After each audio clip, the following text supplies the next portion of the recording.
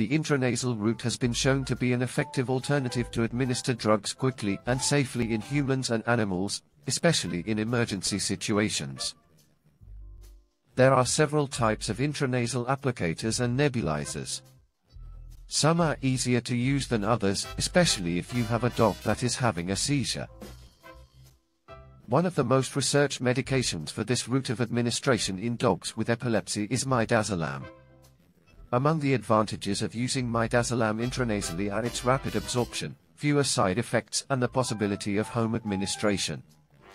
The latest studies show that intranasal midazolam is highly effective in stopping seizures in dogs, outperforming other routes of administration and molecules. Thanks to advances in veterinary medicine, we now have more effective and less invasive options for treating our faithful friends. Always consult your veterinarian for the best treatment for your dog.